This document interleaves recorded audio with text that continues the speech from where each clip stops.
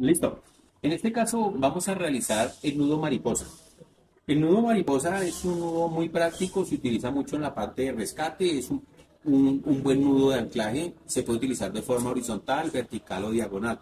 ¿Cómo lo hacemos? Simplemente yo quiero acá poner un mosquetón, quiero poner el conector acá. Entonces simplemente lo dejo un poquito largo y le doy una, dos y tres vueltas. Al tener las tres vueltas, lo voy a colocar en la mano. Entonces, voy a coger el de la mitad y lo voy a sacar por debajo, o sea, lo voy a jalar de esta manera, aquí. Cuando lo tengo aquí, lo giro y cojo todo el paquete, o sea, cojo y jalo todo, lo organizo y lo jalo y lo extiendo.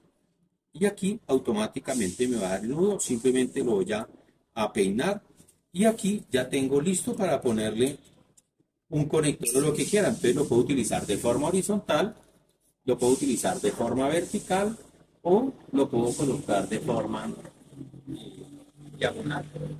Entonces me puede servir para cualquier tipo de actividad. Cuando yo quiere, quiero deshacer el nudo, entonces ¿cómo lo deshago? Simplemente cojo las dos orejitas de acá y empiezo a girarlo hasta que relaje y suelte y lo deshago de esa manera. Entonces voy a volverlo a repetir si de pronto no quedó muy, muy bien entendido. Entonces, cojo y le doy tres vueltas. Una, dos, tres vueltas. Teniéndolo acá, cojo el de la mitad y lo saco por debajo del de la izquierda. Puede ser izquierda o derecha. Lo jaloneo, le doy un giro,